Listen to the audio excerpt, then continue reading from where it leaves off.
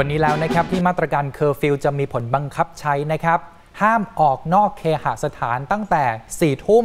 ถึงตีสี่นะครับ ใครฝ่าฝืนเนี่ยมีโทษจำคุก 2 ปี ปรับไม่เกิน 40,000 บาท หรือทั้งจำทั้งปรับด้วย ค่ะ จะเริ่มต้นคืนนี้เป็นคืนแรกแต่ว่าบางคนบอกว่าช่วงเช้าที่ผ่านมาก็อืมรู้สึกแล้วเหมือนกันว่าบรรยากาศตามท้องถนนเริ่มเงียบแล้ว คนก็เริ่มตื่นตัวค่ะกันแล้วนะครับ ที่สำคัญตอนนี้เราต้องช่วยกันนะครับ คุณผู้ชมครับทำให้ตัวเลขผู้ป่วยติดเชื้อเนี่ยมันลดลงให้ได้ อย่างที่เราให้ได้เห็นการแถลงไปก่อนหน้านี้เนี่ยต้องดึงกราฟลงมาให้ได้ แต่ถ้าเกิดว่าอีก 7 วันข้างหน้ากราฟมันไม่ลดลงเนี่ยนะครับตัวเลขมันไม่ลดลง อาจจะมีการประกาศเคอร์ฟิว 24 ชั่วโมงก็เป็นไปได้นะครับ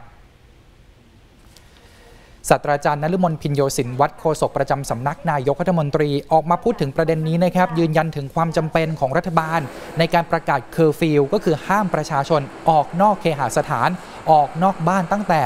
4ทุ่ม ถึงตีสี่จะมีผลบังคับใช้วันนี้วันแรกนะครับเพื่อลดการรวมตัวของประชาชน ที่เป็นสาเหตุหลักในการแพร่ระบาดของเชื้อโควิด -19 หลังพบว่าปัจจุบันตัวเลขผู้ติดเชื้อยังคงเพิ่มขึ้นหลักร้อยทุกวันทุกวันนะครับ ทั้งนี้จะมีการประเมินผลทุกวันตลอด 1 สัปดาห์ หากว่าตัวเลขผู้ป่วยมันยังคงเพิ่มสูงขึ้นแบบนี้ ก็มีความเป็นไปได้ว่า จะพิจารณาประกาศเคอร์ฟิวตลอด 24 ชั่วโมง แต่หากตัวเลขลดลง รัฐบาลก็จะผ่อนคลายมาตรการนี้ พร้อมกับขอความร่วมมือประชาชนอย่าออกนอกบ้าน หากว่าไม่มีเหตุจำเป็น และให้เว้นระยะห่างทางสังคมระหว่างกันนะครับ ขณะเดียวกันให้กลุ่มอาชีพที่ได้รับการยกเว้น ให้สามารถออกมาปฏิบัติหน้าที่ได้นะครับ แต่ว่าคุณก็จะต้องพกใบรับรอง จากหน่วยงานต้นสังกัด เพื่อแสดงให้กับเจ้าหน้าที่ที่เขาจะมาตรวจตรากันด้วยนะครับ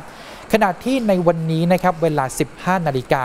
พลเอกอนุพงศ์เผ่าจินดา รัฐมนตรีว่าการกระทรวงมหาดไทย เตรียมแล้วนะครับ จะประชุมกับผู้ว่าราชการจังหวัดทั่วไทย หน่วยงานด้านความมั่นคง เจ้าหน้าที่ตำรวจ นายอำเภอ นายกเทศมนตรี ผ่านระบบวิดีโอทางไกล หรือว่า video conference นั่นเองนะครับเพื่อชี้แจงแนวทางปฏิบัติหน้าที่ตามข้อกำหนดฉบับที่ 2 ในพรกฉุกเฉิน ที่จะมีผลบังคับใช้ในช่วงค่ำของวันนี้แหละครับ